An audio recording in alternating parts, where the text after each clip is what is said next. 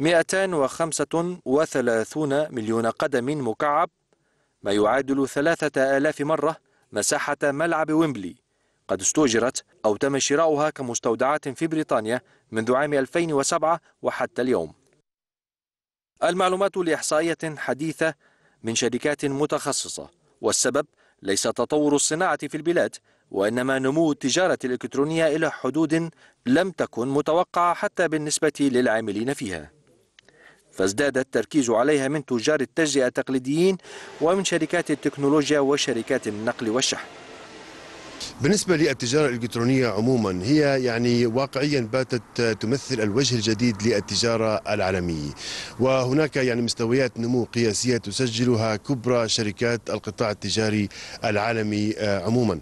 وهذا ما يفسر الخطوة الأخيرة هنا في السوق البريطانية. إذ باتت تميل آه، شركات التجارة الإلكترونية في بريطانيا لرفع وتيرة تخزينها من المنتجات الأساسية لكي تلبي مستوى النمو الذي آه، تسجله وأيضا من خلال التوقعات التي تشير إلى أن آه، نمو هذه الشركات واقعيا سوف يحافظ على خط التصاعدي في المرحلة المقبلة.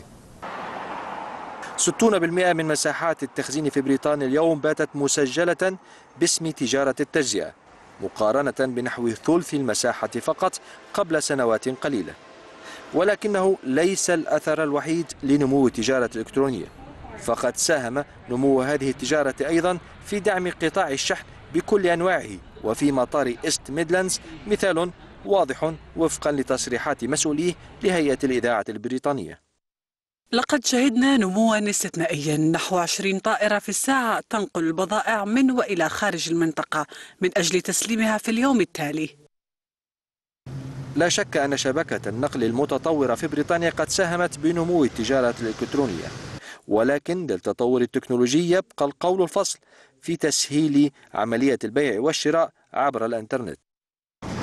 في بريطانيا منتج من كل خمسة منتجات يباع عبر الإنترنت.